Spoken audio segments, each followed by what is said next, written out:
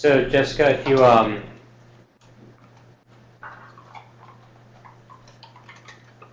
you use the BU command, work.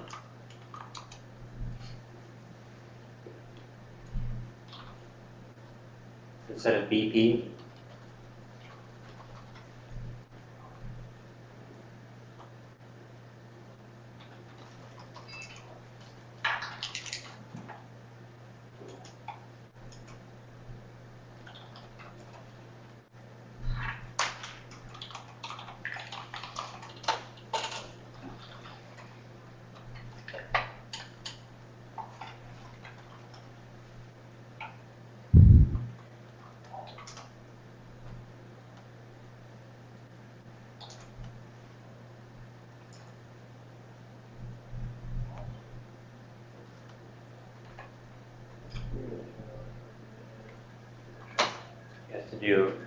Linux the address.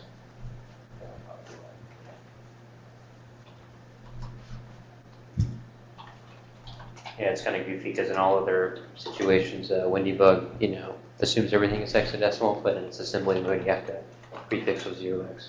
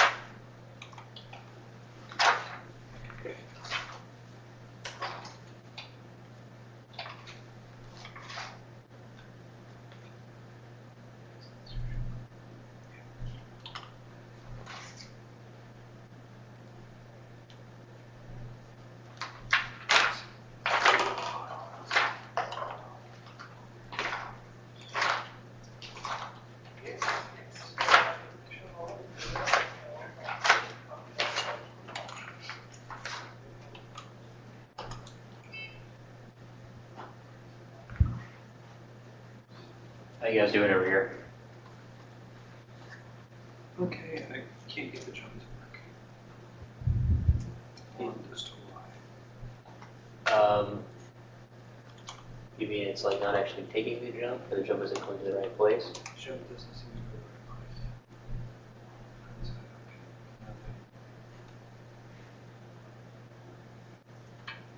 place. So. So if you do a DB on that address, one two FD eight zero should be your shell code, right? So yeah, it looks like a shell code. Okay, and have you put those uh, bytes into your payload? Okay. Uh, this should be alright, so, um. So you're doing the uh, bytes backwards, and for those, you don't do them backwards.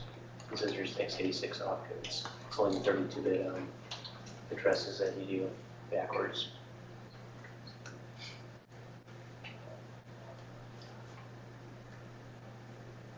There you go.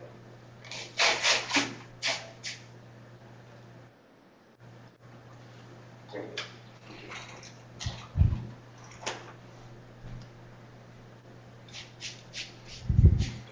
How's it going, PowerPoint Ninja? I was just trying to get that, calculate the jump. Yep. Using the A command? Well, just trying to, I, I keep missing it up here and there. Some help, you want to keep fighting at it on your, Um, I think I get five out there in another three minutes. okay, cool. So over again. Okay, let's see.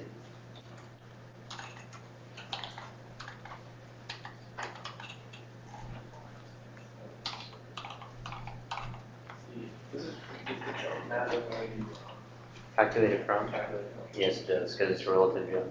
So you have to calculate it when you're on that CC byte, right after the pop pop return. So CC and C3. C3 is return, CC is software breakpoint. Yeah, uh, so I think this is, so I had done There's no choices. Um, one was C. C. was the one I There's no choices of Okay, Now I'm gonna try, now I'll just go back. okay.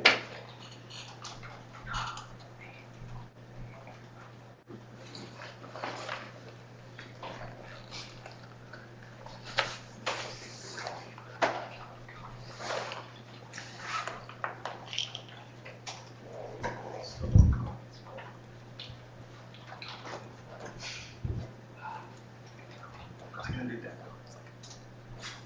Can rank up there. So. Do A, I want. shell, if that's your shell code.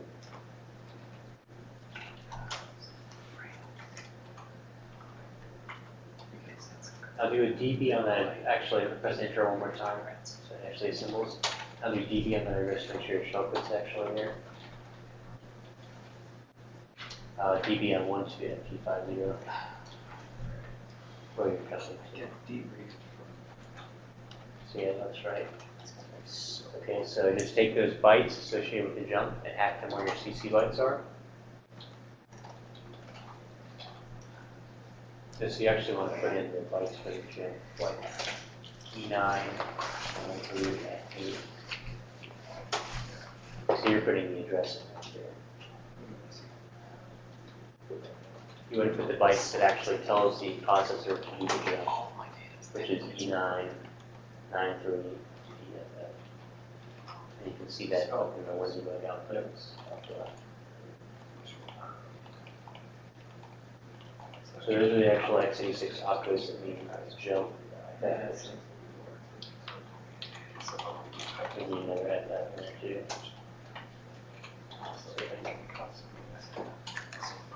So. Yeah, so you were just putting the address there, and you had to actually tell the processor, because at that point, the processor is pointed at those opcodes, and you need to tell it, okay, processor, I'm giving you the x86 opcodes and jump backwards to match that code. It's going over here, Dave. I've done the same thing. No, no, no. Yeah, not actually see what happens when you G.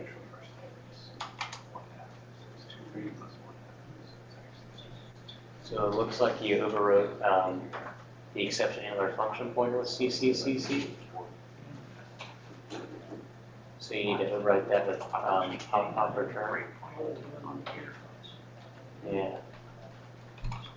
Yeah, because you gotta remember, the debugger is just telling you, okay, an exceptional condition just happened, you want me to like do something about this, or let the process try to handle it?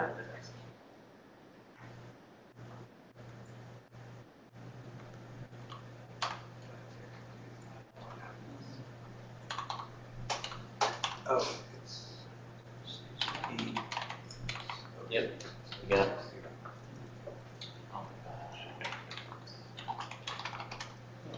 It's very long, but like it's just not quite. It's just- Oh no. Your return address isn't right apparently.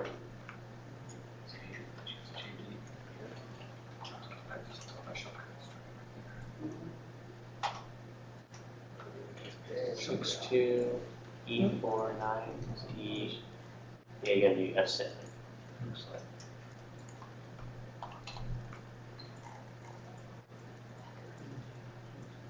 And the rest looks right.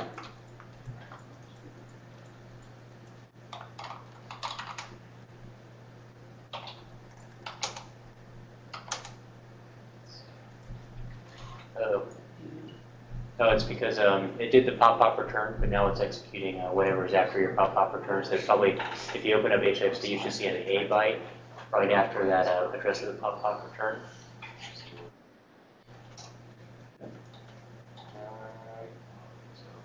Oh, yeah, it's because, um, you put the A's right before, because remember it's gonna set the, uh, the EIP right before that pop-pop return address oh, first, so you have to do the EB06 right there. So if you change that to EB06, it, then it should jump to the CC buttons. DC. Yeah, there you go.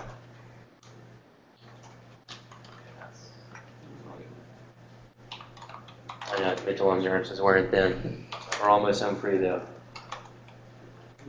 Now you assemble the jump backwards too.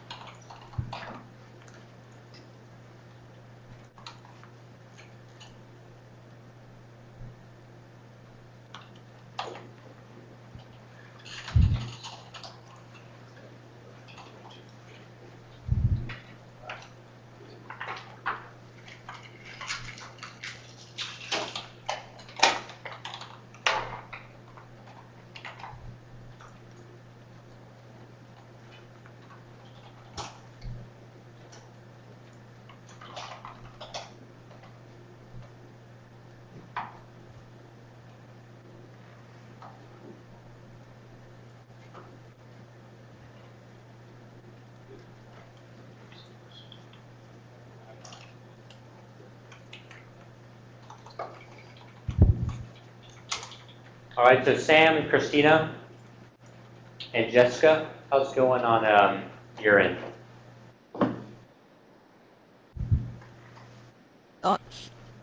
Sam is uh, talking with Gino to do something.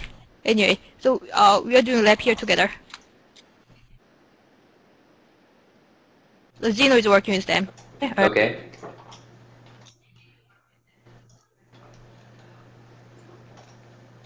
You did? Yep. All right. PowerPoint Ninja? Uh, the jump's not quite good yet, but. Calculation. Yeah, Sam, I think uh, GS protection is turned on this thing, so that ain't gonna work too good for you.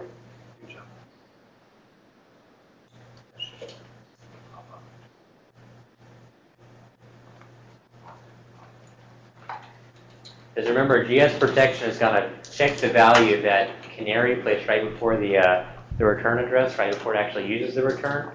But with the exception handler stuff, we gain control of EIP before that canary's integrity is ever checked. So just trying to overwrite the saved return address would be no bueno.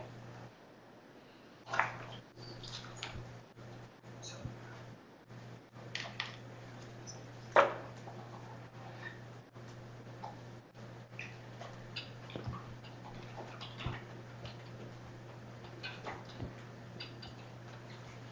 I'm trying to calculate the jump. Yeah. Putting that in that, or putting it in backwards. Uh, you don't have to put the, the bytes of the jump in backwards.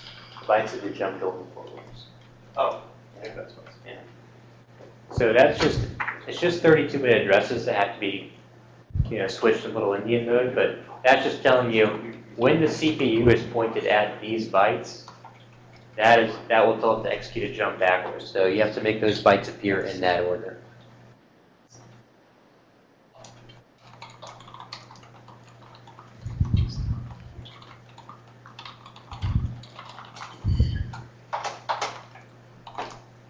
Alright, yeah, that was just my, my stupidity. There's a lot of little things you gotta get right with this exploit business, so it's easy to kind of like get one wrong and be like, what the hell's going on?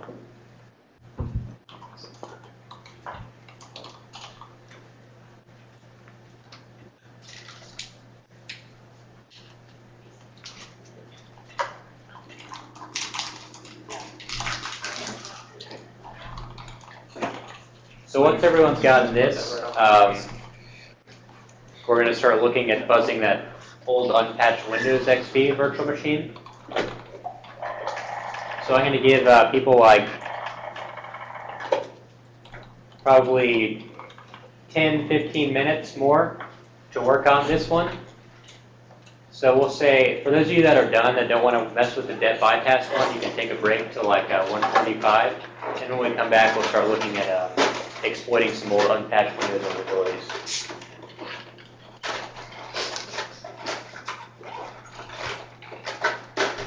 There anyone on the BB cast that wants uh, some advice that's having a hard time with this?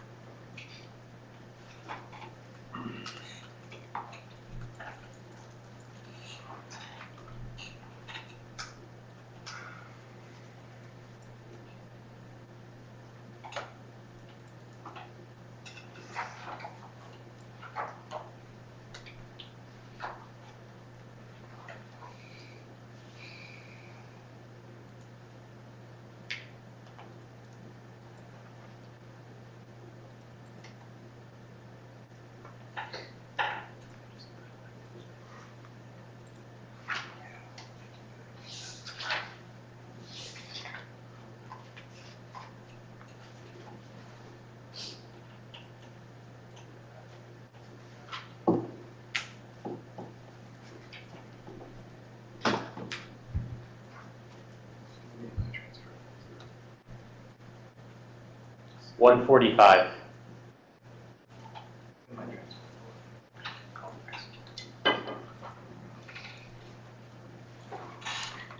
Then I'll start wrapping this up and moving on to the, uh, the Windows XP bugs.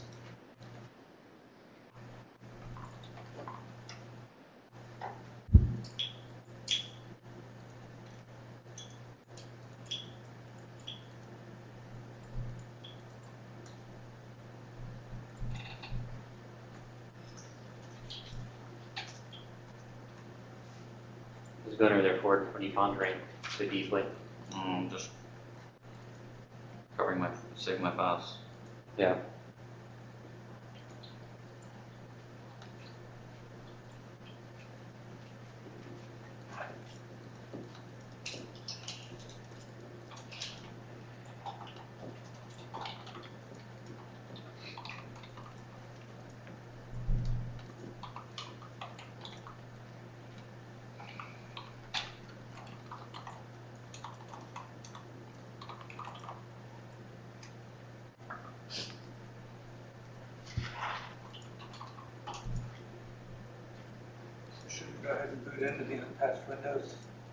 If you want, yeah.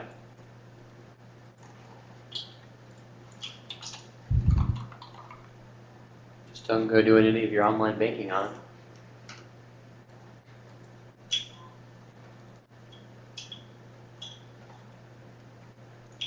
I'm just kind of curious to see what will happen if you try to just browse to like Google in that browser, see what the proxy does. You'll get like an instant, instant mint email from a manager. Huh? Probably IE6, so it's probably not gonna be.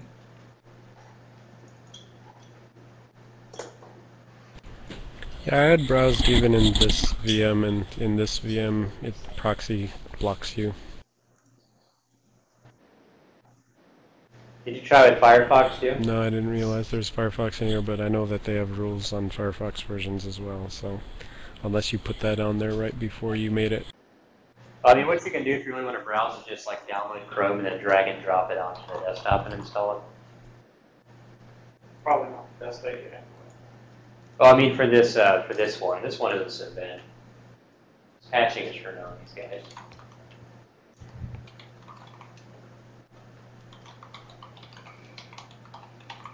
Who's pulled this stuff for, yeah, five S for this?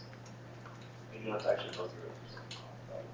So the debt bypass, you would want to pivot the stack, um, pivot the stack to attack the controlled data. You want to create a fax, a fake stack frame there that calls virtual protect. And then the return address for your virtual protect stack frame should be the address of your shell.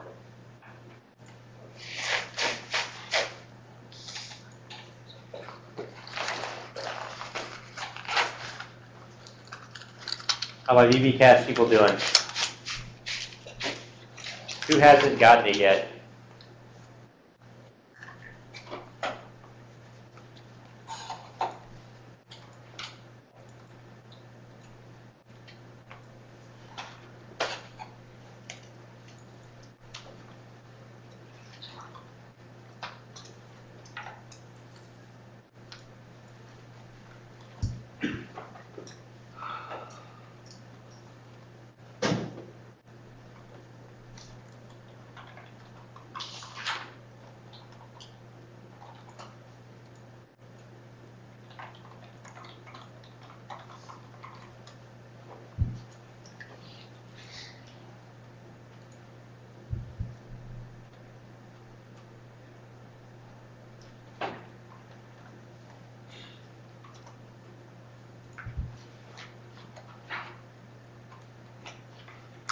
All right, well, I'll give you guys that are still trying to finish it up till, like I said, uh, 1:45. Those of you that have already gotten can chillax for a minute, rest your brains, because the last part of the class will be exploiting that Windows animated cursor rendering vulnerability.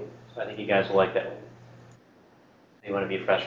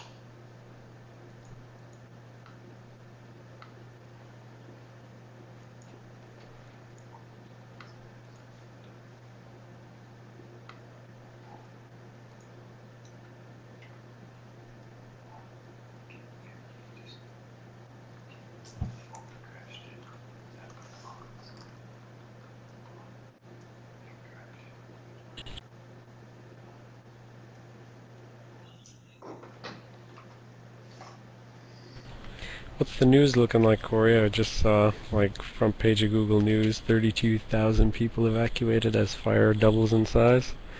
Do you have any, like, map that you are consulting that shows what the limits of it are? Yeah, but it's not very up to date. It's just like from yesterday, and the fire is like you know changing rapidly, so it's not all that accurate. Some people did post some pictures. I'll show you guys. I mean, it's getting a lot worse. Apparently, last night it's basically reached hell on earth proportions.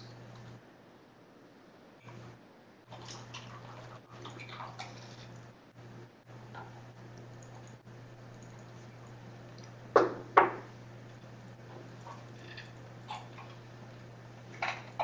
what Colorado Springs looks like right now.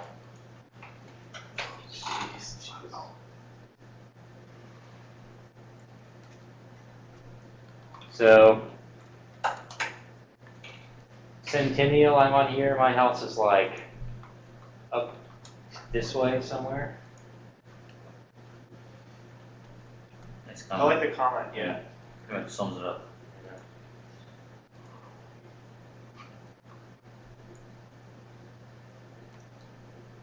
I think that right there is the uh, Air Force Academy football field. Yeah. The Air Academy was evacuated. Yeah. Never seen so much snow. Let's see what the forecast looks like. He's partly cloudy. Mostly cloudy. I don't know, just Large Florida's, chance of Florida's got fire. some problems.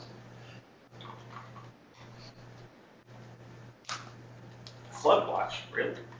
It's because all the vegetation has been burned, so if it rains, there's no, uh, you know, vegetation to hold the water in the ground. So, houses burned to the ground. Flood out. Yeah. Oh boy, that's good forecast for a fire. Lightning, that's what we need. I think at this point, it's kind of like, so I have like an apartment that I just moved out of and into a condo, and I saw a little stuff there, and it's probably toasted, gone. It was like right on the perimeter last night. And then I have a condo that's in the southwest part of town, and the fire is really spreading northwest. So, You said you still had stuff in your apartment? Just some little stuff, yeah, I mean, just like some crap that I had been. And here's where out. giving your girlfriend the keys to your apartment might have been helpful, right? And she's not there either. Do you have the keys to her place? Uh, she lives with me. So technically, yes. So. That was a couple.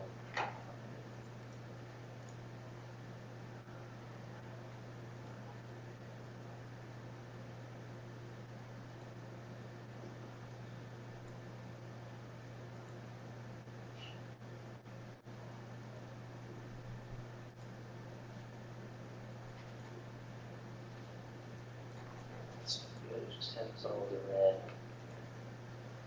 Yeah, there was like a pretty good one that showed like a satellite image, but it was actually like pretty old, but apparently got really bad last night and a bunch of homes just started burning and basically the whole northwest part of the city is on fire, so. I'm putting it like 50-50 whether or not my condo will survive. Luckily, there's like this highway, Highway 24, which bisects um, Colorado Springs going east to west.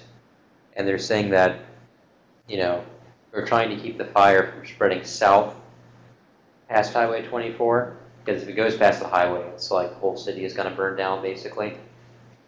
So, if- they hold that line, then my condo should be okay, and if they don't, the whole city is going to burn down anyway, so.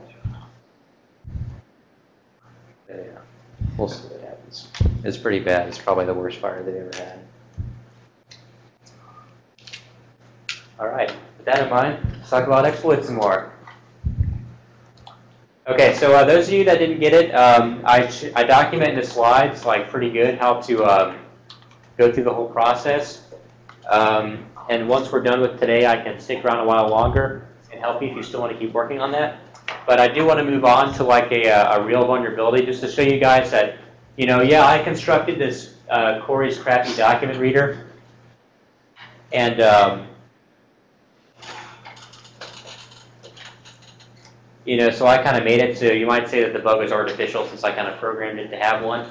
But I just want to show you that this method does in fact find like real, real vulnerabilities that have been out there.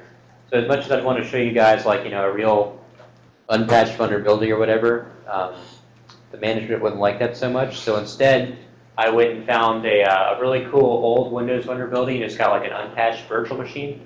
And then we're going to, um, you know, try to fuzz that out and develop an exploit for it. So what I want you guys to do is on your desktop, in the um, TSV folder, you'll see like the unpatched XP virtual machine. So go ahead and um, fire that thing up.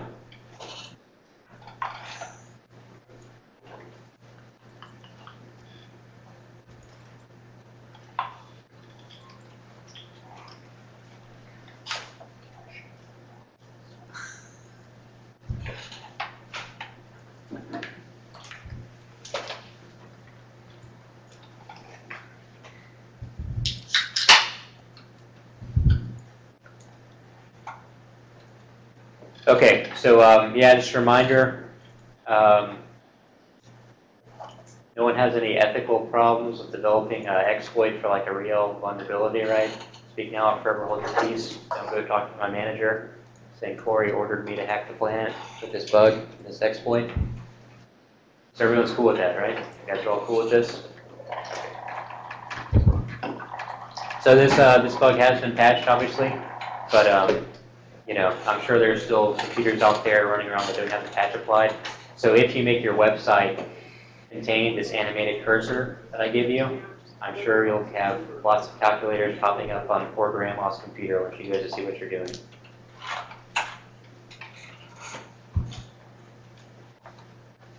Okay, so just an FYI guys, this bug that we're going to deal with is very aggressive. Like, um, Right? I mean, it's like the rendering of these animated icons, Windows is very aggressive to it. So if you like browse to a directory containing one of your exploit files or crash files, you're going to crash Windows. So try to do everything from the command line, because obviously the DOS console isn't going to try to render any graphics. So for instance, um, I'm sure everyone will accidentally do this at least once. Uh,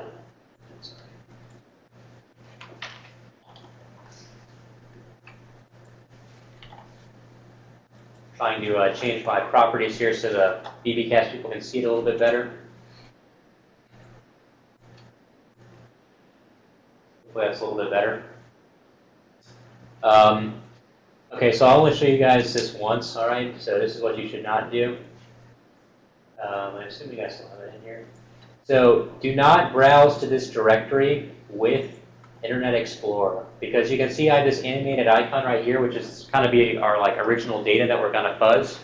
And once you have you know crashes or exploits in here, as soon as you go to this directory um, with Internet Explorer, bam, your host.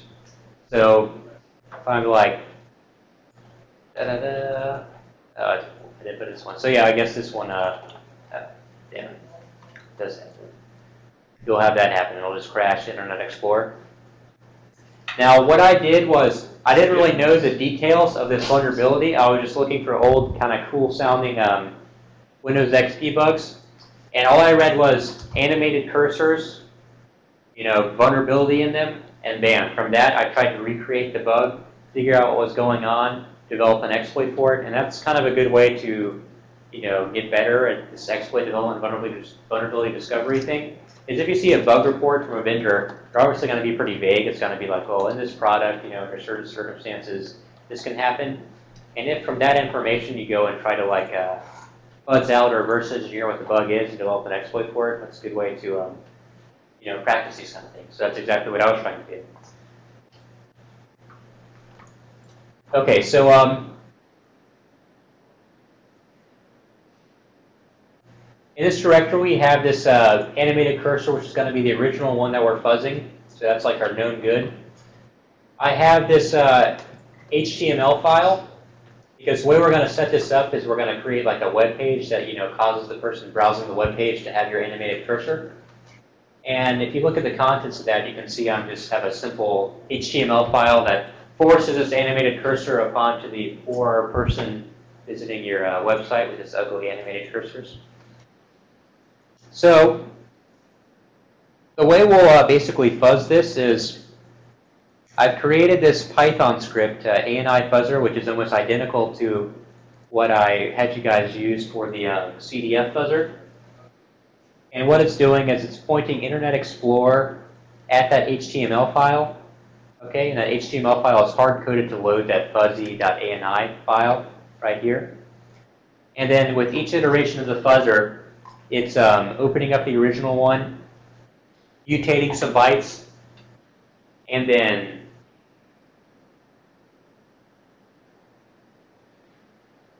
Okay, so you guys didn't. Uh, so I'll get you the password in a second, Wilbur.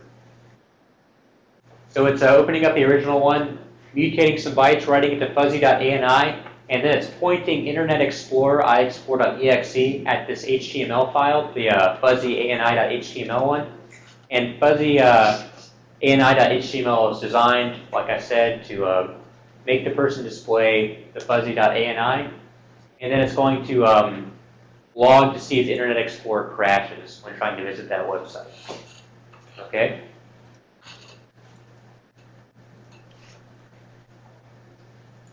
So what's important is um,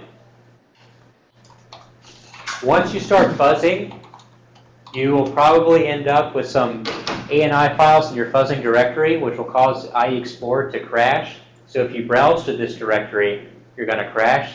So you need to launch everything from the command line. Like just typing HXD in the parameter to there and Notepad to like, you know, look at the stuff. All right? Just because even if you do like go to a text pad do file open and browse to it in here, this little file explorer one, it'll still crash. Because it's still going to try to, you can see it's even now trying to bring these things. That's how kind of crazy aggressive it is about rendering all these little uh, animated cursors. Okay? So the, uh, the fuzzing method I used for this one, and this was just like my first uh, stab at fuzzing out this bug when I read the original bug report, was instead of randomly flipping bytes, my sort of first approach is usually to sequentially write OXFF in the document. That way it's more deterministic. And I know that, you know, OXFF, if there are any like integer overflows in there, that's probably going to trigger them. So what this um, fuzzer does is just writes OXFF in the zeroth byte of the file, first byte, second byte, etc., until it's gone all the way through. So that's what the fuzzer's doing. That's going to generate some crashes. And so what I want you guys to do is to use the ANI fuzzer. And let's see, what's the directory there? It's in the C colon slash uh, fuzzing directory.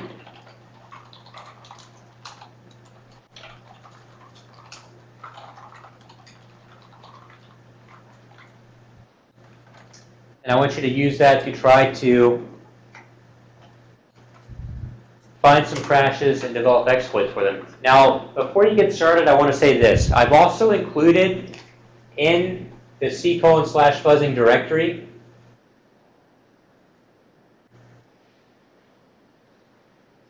this um,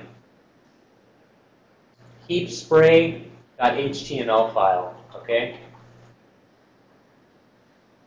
And what this, this one is similar to the, um, the fuzzy ani.html file, except it's also including a heap spray.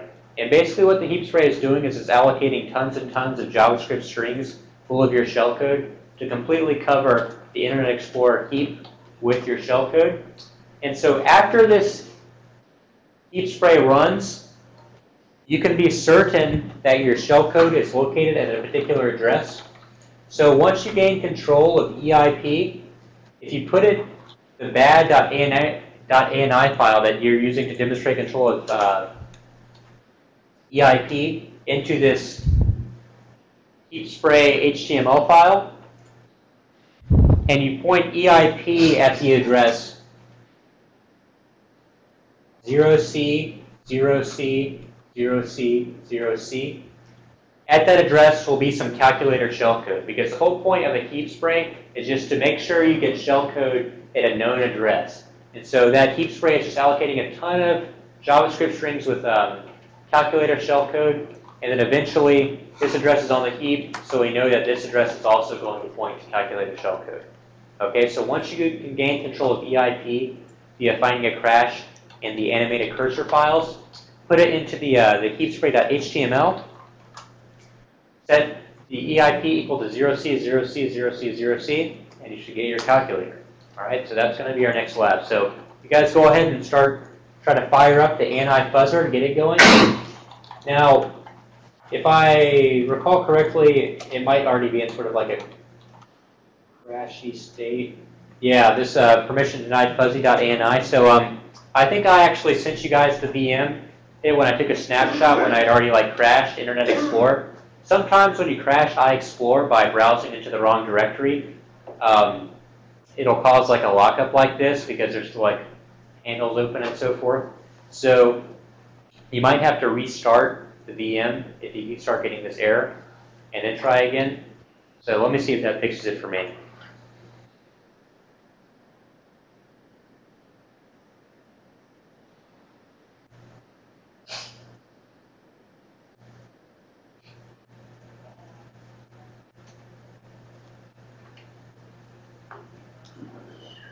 So if you're really mean, you can put this on someone's desktop. Yeah, right. I mean, they'd be totally host. I guess you would have to like boot into, you know, like recovery mode, you know, and delete it.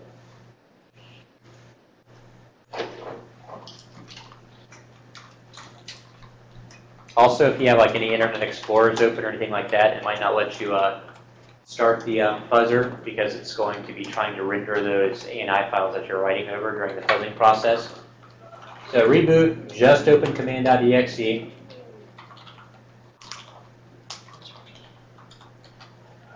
Give it a go.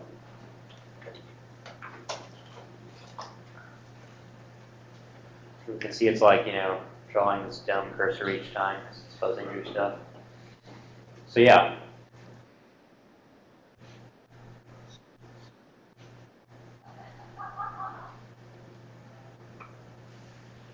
So Wilbur, the, um, the password should be in that um, email I originally sent you guys about where the VMs were located.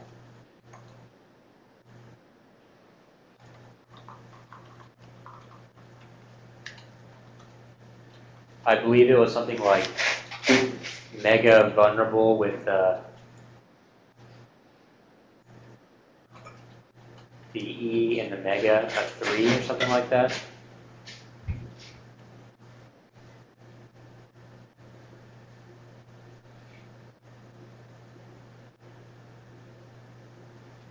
Maybe uh, Zeno and Veronica, you guys can confirm that because I think you guys downloaded the virtual machine.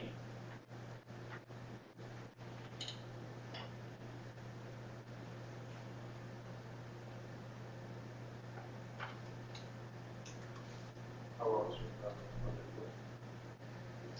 Um, you should let it get like uh, 15 crashes, I believe.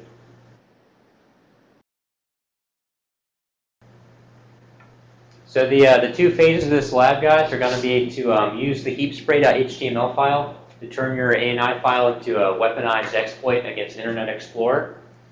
And then once you have that working, I want you to try to exploit it um, without using the heap spray, so embedding the shellcode in the ANI file itself. And so that way, if you were to just browse to a directory or a file share containing that ANI file, you would get exploited. Normally, if you did that, it wouldn't work because it wouldn't launch the you know Internet Explorer HTML renderer and get you your heap spray. But this way, like you said, if you just put it on someone's desktop, then blam, all kinds of stuff would pop up on them.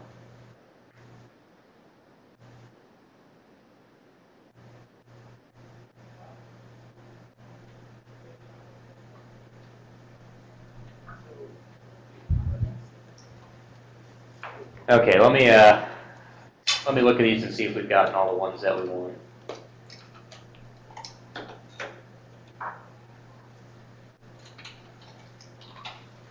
Notice that I'm not clicking through the directory to get to my crash log file and doing it all from the command line. I get to V2.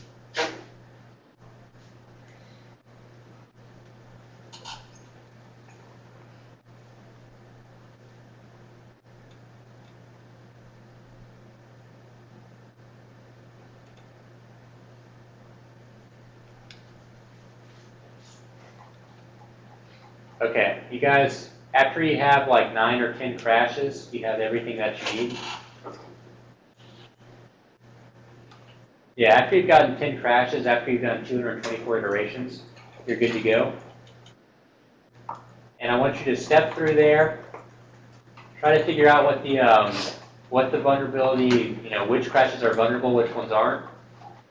Some of these other ones actually might be vulnerable and I just don't know it. I didn't really some of them look vulnerable, I just didn't really waste time on them. I just went to the one that looked like absolutely the most exploitable to me.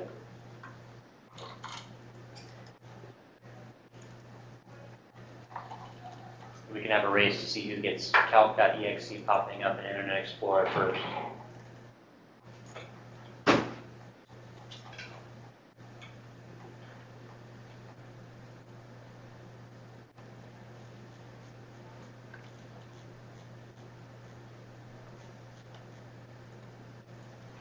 So remember the steps that you went through to analyze the CDF crashes for exploitability, and the steps you went through from turning one of those crashes into an exploit. That's what you should be doing here. After a while, I'll obviously start working. I'll obviously start working the process myself to help other people, but I want to see how far you guys can get with the training you've already had today with exploiting the crappy document reader.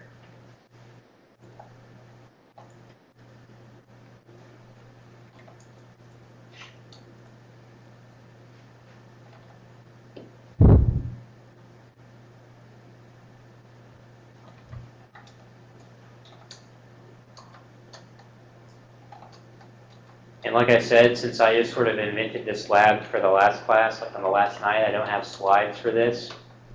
So can't really cheat by looking for it in the slides.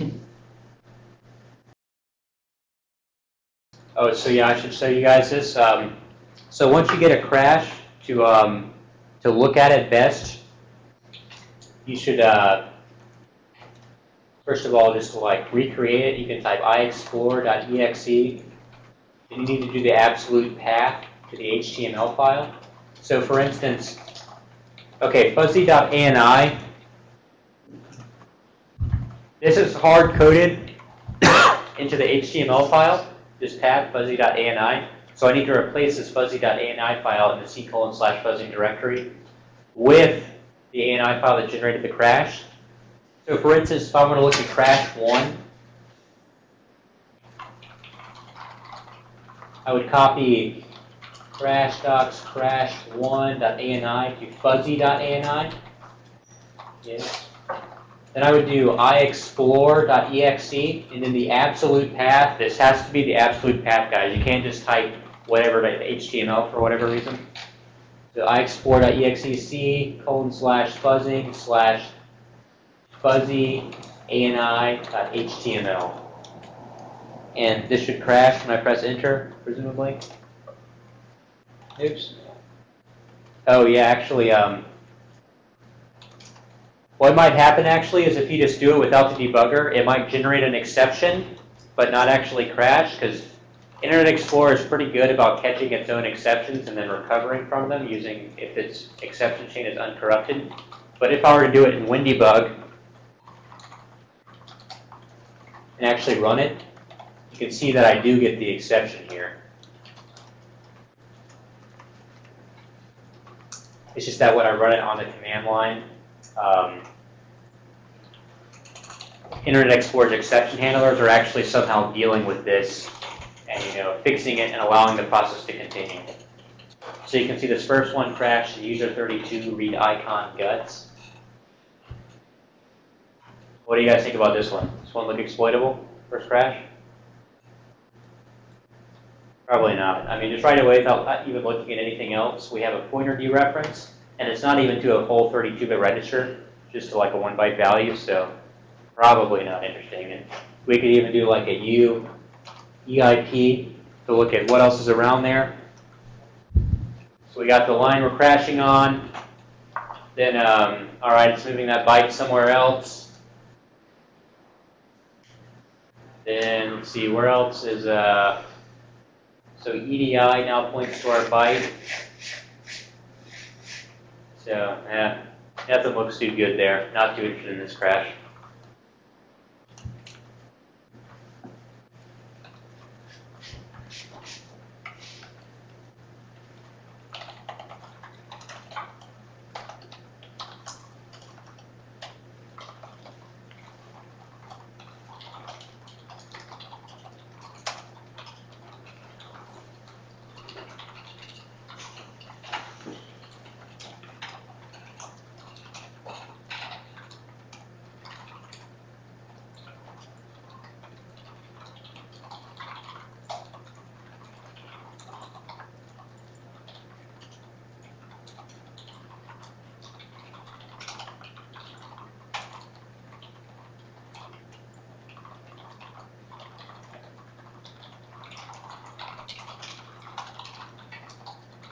Corey, can you make the text bigger in Notepad? Just about to do that.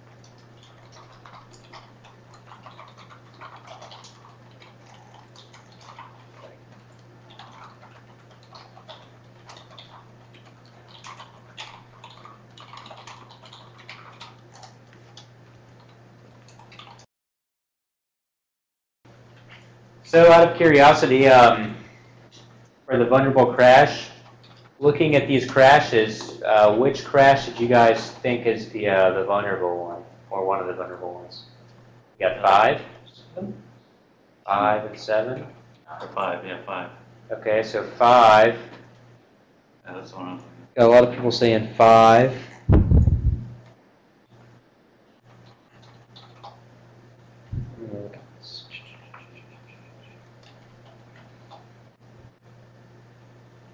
Okay, so why did you guys pick out five? Because of that EIP. EIP is jacked. All right, so that's that's usually a good sign. Um, do we have any other any exception handlers change? Let's see that. For five. So in mine, it looks like the exception handler still looks legitimate.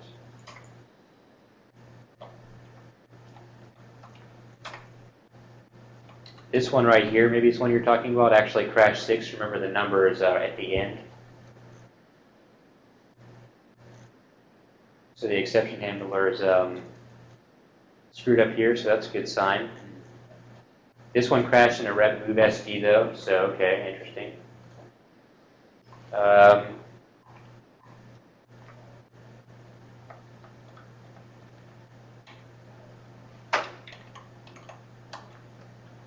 any other one? Any other people pick out a different crash besides five and six?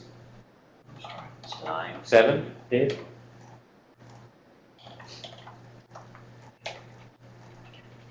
Okay, why don't you pick seven, Dave? What were the things that kind of tipped you off this, is- this would be a good one? Yep, yep.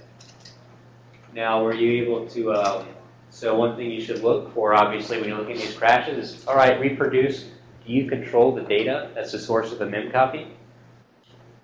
That's a question you should be trying to answer. Okay, we had someone suggested 9 too, I believe.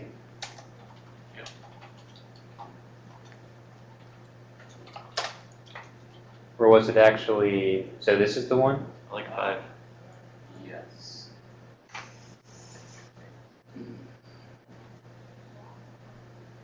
5, you can get the, well, I was able to get the upper 4 bytes of the IP.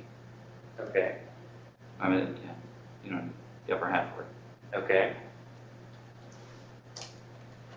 So you could still make that work with the heap spray, maybe. Not maybe. That's that's just the first attempt, maybe. Because maybe with the heap spray, Shokui should probably still exist at address like 0C, 0C zero, zero, zero, zero, zero. Just as I keep straight your shell code everywhere, basically.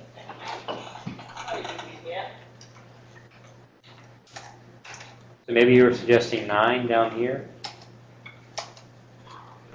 Or 10, rather? Oh, no. I got I think I was looking at but then I talked myself out of it. Okay.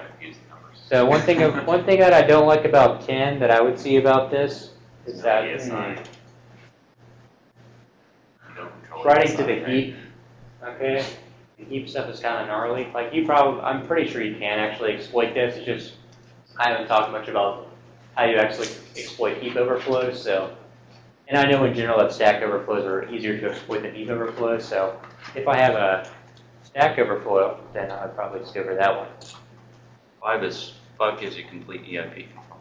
Five gives you complete EIP control. Mm -hmm. So this one right here. Yep. And that's right. Offset C zero on the file. Oh, let's see it with some calculators popping up. Five isn't the only one though, guys. There are o- other crashes in here also can be turned into exploits. So don't just uh, abandon ship and start switching on to five.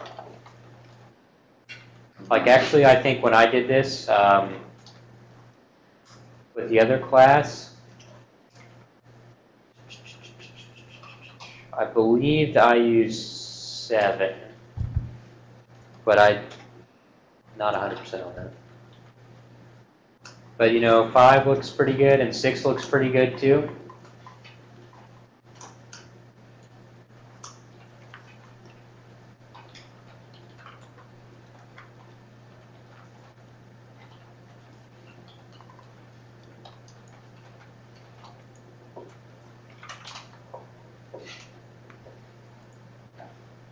Just six looks good for the points that you know Veronica pointed out. The exception handler is all jacked up, and um, you know it's causing an exception in Red Move SD, so that's you know a good sign too. The only question you have to answer is, okay, do I control the source operand? Is this data that I control?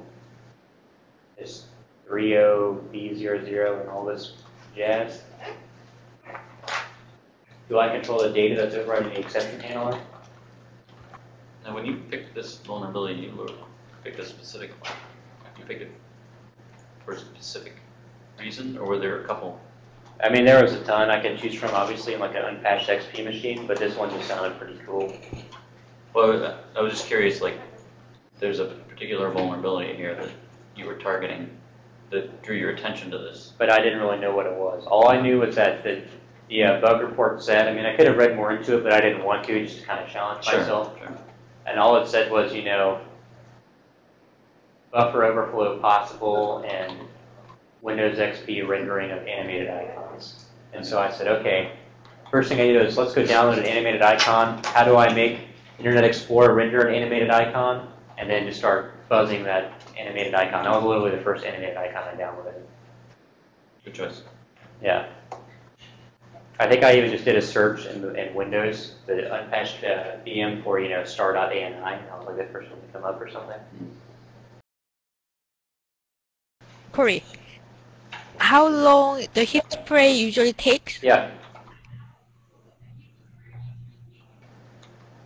Um, 15, 20 seconds. Probably more like actually 10 or 15 seconds. Like if you just open up.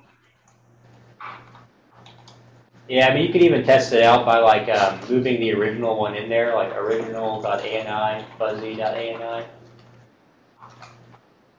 Uh,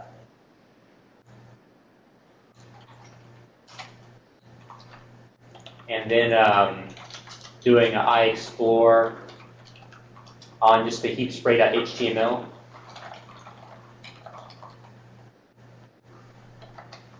You can see that one only took like five seconds. Okay, thank you, because mine was taking too long. And you can actually verify that you can verify that shellcode is actually there by uh, doing like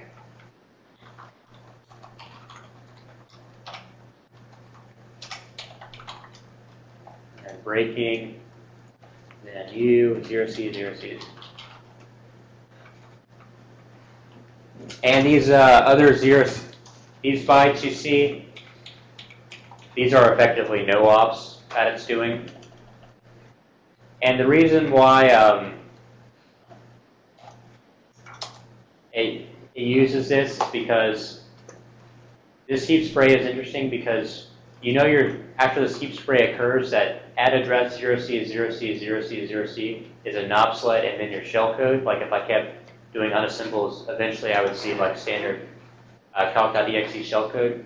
But also the no ops you're using are represented by 0C, 0C, 0C, 0C. So if there are any function pointers on this on the heap when you do this, you know, it's kind of like a super easy broadsword way kind of to exploit things.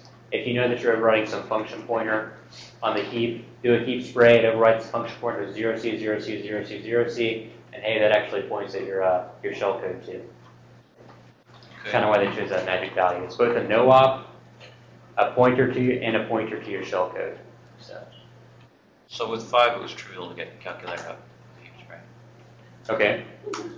So you can um, try a couple of the other crashes, or you can try, another thing you should try to do is um, embed the shell code into the .ani file, so that way you don't need the heap spray to get the calculator to run. Because right now you could only exploit someone if they're visiting your website, you know, and there's like HTML rendering happening. But say you want your exploit to work if someone's just browsing to your transfer folder or something like that. That way you can just dump the shell code. Everything, it's self-contained in the ANI file, and if they browse there, bam, they get calculators appear. And that'll be a little bit more difficult. Each spraying makes everything, you know, easier. Yeah.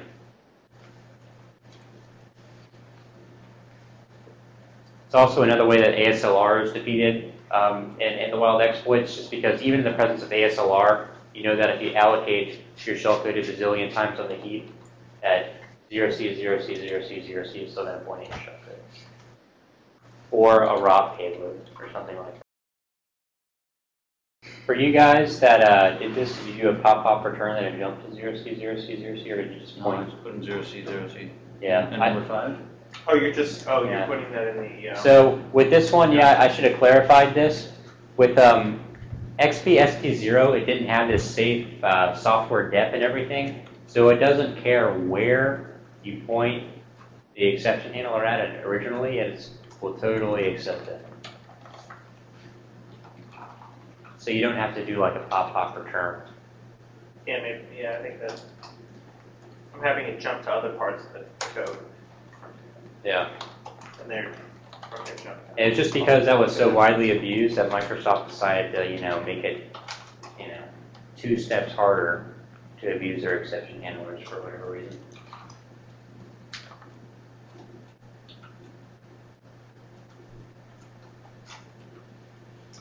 I think it was really the, uh, the code red worm that prompted them to sort of make their exception handlers a little bit more hardened, even though it doesn't really matter, since you just have to do like another extra step, just since the, uh, Code Red exploit was using these exception handlers to um, be really reliable, basically.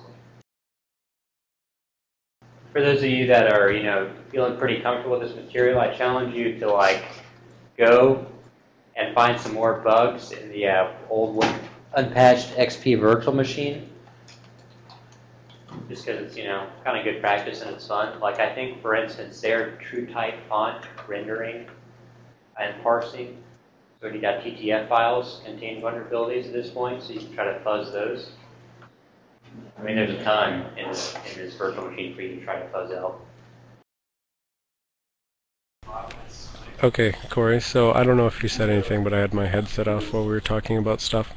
So the one thing which I'm not clear on is, so I get that, you know, you want to, whenever you control the EIP, you're going to point it at the 0C, 0C, 0C, then you're going to hit a NOP sled. I'm what I'm not getting is how does your calc shell code get to the end of that NOP sled?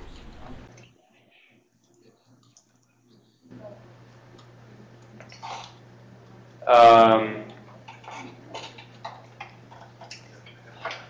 so the calc shell code is,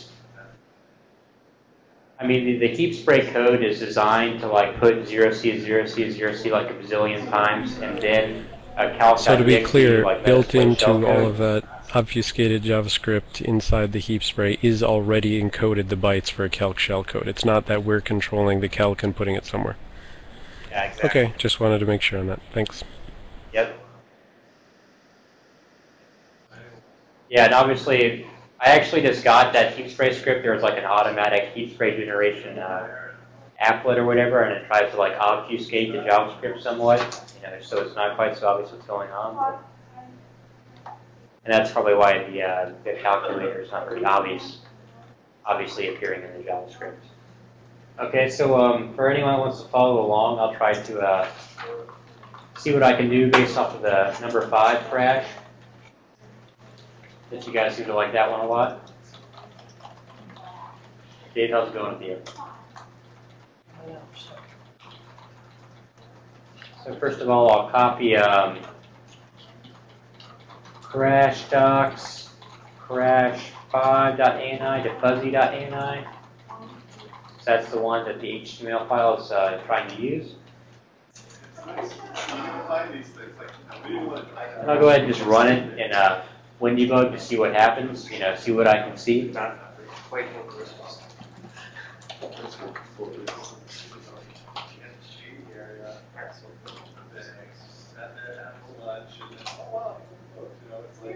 Okay, and I get that EIP equals zero zero two zero zero zero zero zero. So, I'm like, hmm, is that some attacker controlled data? Well, the stack is totally screwed up, so I can't really tell. So you know what? I'm gonna go ahead and just go in shooting blind and see if this um, value even appears. You know, is, is this attacker controlled data? And one sort of like a, you know, rough way to try to figure that out is to see if this value appears in the um, ANI file, right? Maybe it's something in the ANI file is actually Let's an exception. Yeah, I'm about to close that, you know.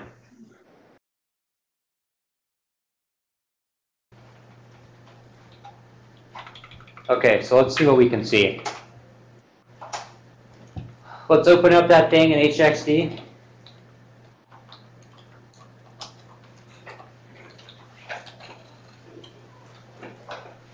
Okay, let's try to search for that sequence of bytes.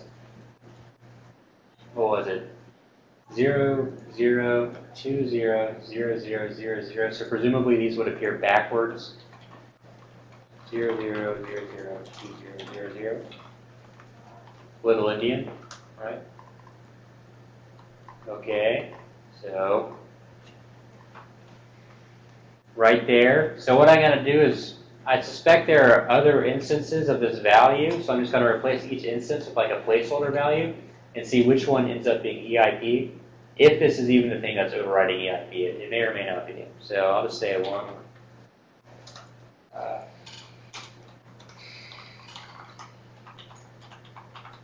okay, and there's one. Now here's another.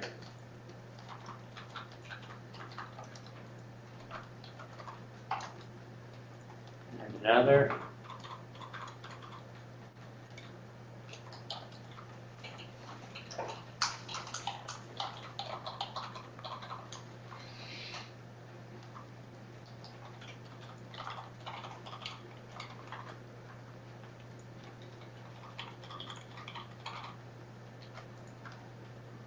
Okay, so it looks like there was like six of them. So based on the results of um, what EIP is after I rerun this, we should know which of these is overriding EIP, if any of them.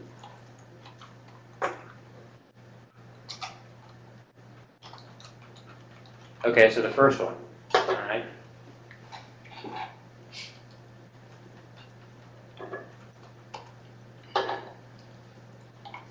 So If I come back here and replace this with the address of um, the heat spray address.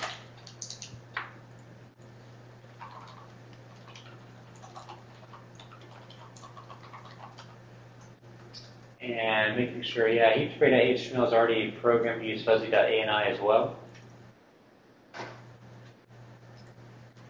So if I run it with the heapspray.html, it's going to put shellcode at that address 0c, 0c, 0c, 0c, and we should have calculated something.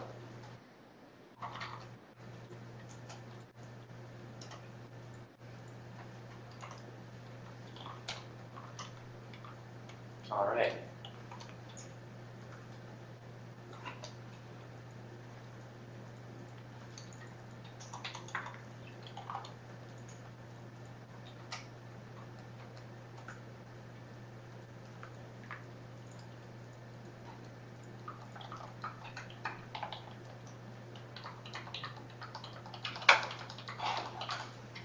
Bill, could we get the, um, the Windows updates on the, uh, display machine to go away?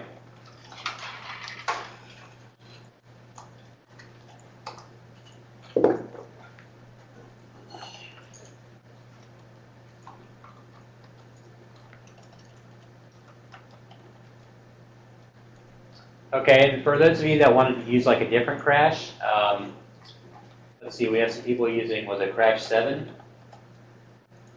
Yeah, try. Okay, so, uh, you know, I, I don't think I've done this one, so I'll just go ahead and give it a, a stab. So I'm going to try to reproduce this for Crash 7 as well.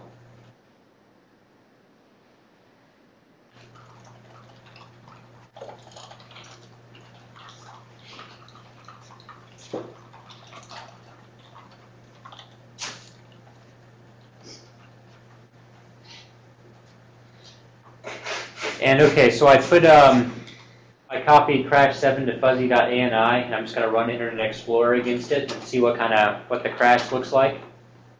Okay, so I'm dying in a move SD, that's good always. And, um, all right, hmm.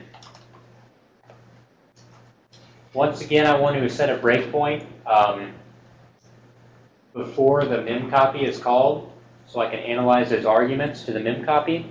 So it looks like my return address is 77E74467. So if I look at, um, if I unassemble backwards from that address, I should see the call to the mem copy, or read file pointer copy, I guess, is, uh, was actually crashing there.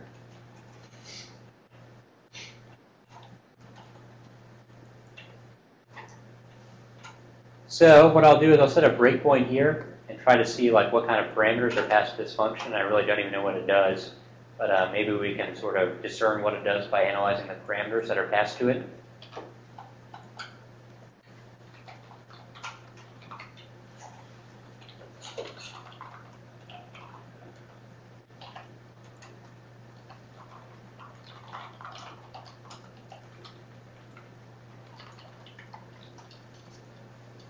I'll do a dot restart.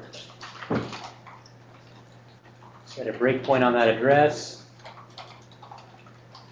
Go.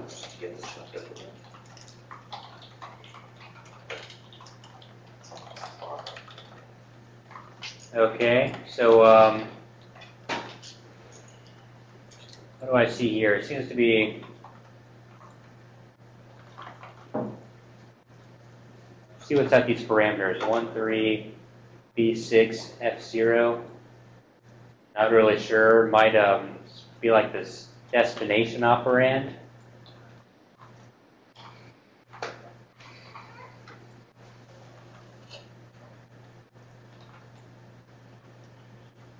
Right, some weird uh, parameter stuff. I can see if either of these appear in the file.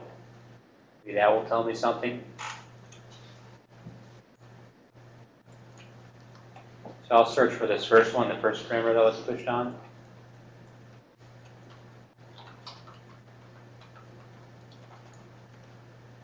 All right, so it doesn't look like the first string of data is appearing. But I suspect that's like a destination operand, so let's uh, search for the other stuff that was pushed on. So Five, two, one, A, DD, seven, seven, three, four. Five, two, one, A, DD, seven, seven, three, four. So, this crash, man, I don't know. It's not looking too good.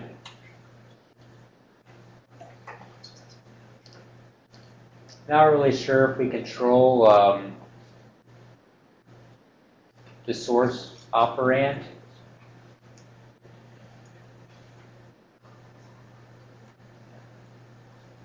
Let me see if I can analyze a little bit further though. Oh, we're gonna hit this one a lot, unfortunately. This particular breakpoint.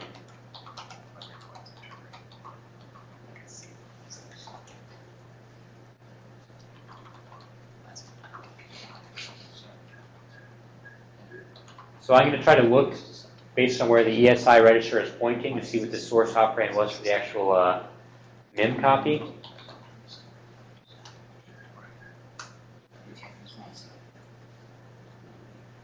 So this is just right here where ESI is pointing, so four A, three A six. Hmm. Yeah, okay, so it was crashing because nothing exists there. Maybe if we go a little bit back, we can see what was supposed to be there. Say zero.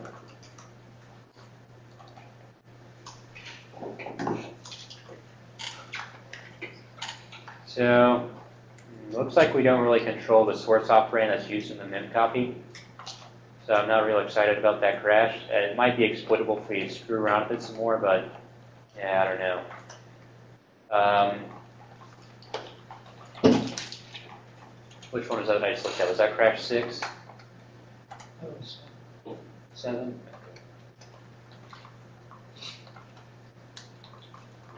So let's see, what else can this crash seven tell me? So on crash seven, the exception handler is um, intact as well. So that's kind of a, like another strike against it. Um, so let's look at crash six instead.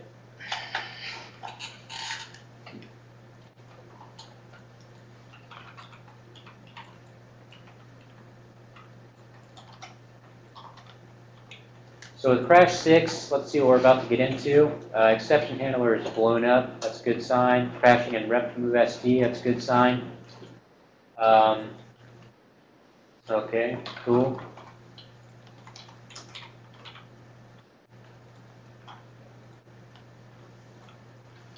Let's run in Windy Bug, see what we see. Exception handler is all blown up. Um,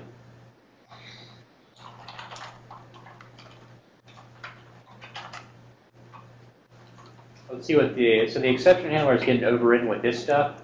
Zero, zero, three, zero, three B, zero, zero. So let's see if these bytes appear in our, uh, in our file.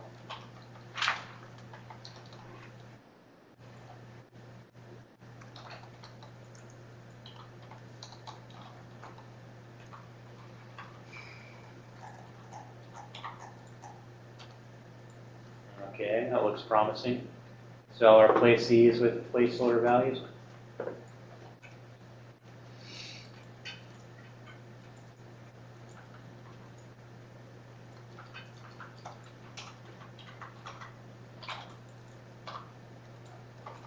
Got it again, unfortunately.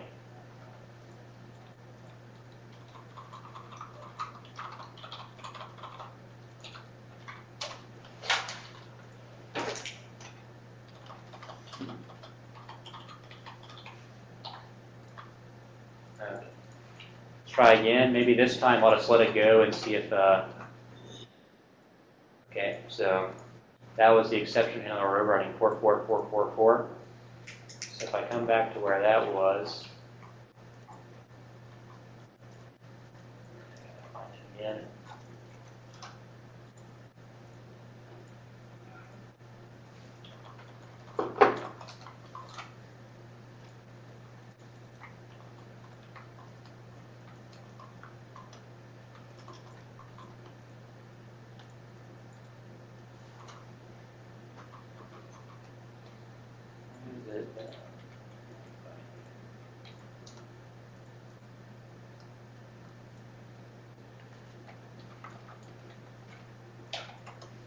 You can see that Internet Explorer is totally freaking out because it's we're crashing it with this uh, animated cursor rendering. So I'll change this to zero C. Dang it. Zero C, zero C, zero C, zero C. Run in my heap spray framework.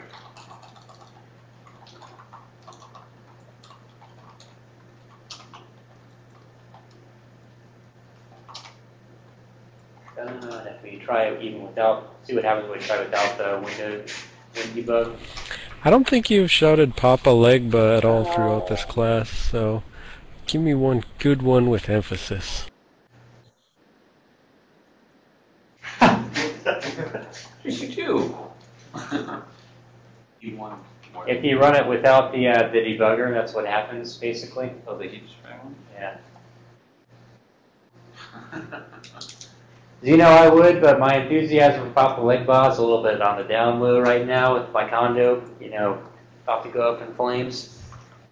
So if my condo is still there when I get back, I'll let loose. Uh, or if I see the flames raging towards me, I'll try to summon his dark Haitian voodoo, save my condo. Because then I really will need Papa Leg Boss to hear my call, put out the fire.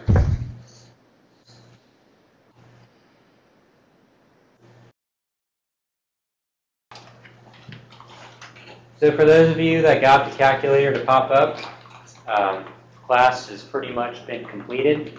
Hopefully I've demonstrated to you that you can develop Windows exploits, bypass mitigations, and use these methods to find vulnerabilities on your own and develop exploits for them. Hope that you're all convinced of that at this point. I just encourage you to be responsible with your newfound powers. Okay? Remember, go to my manager and say, Corey made me do it.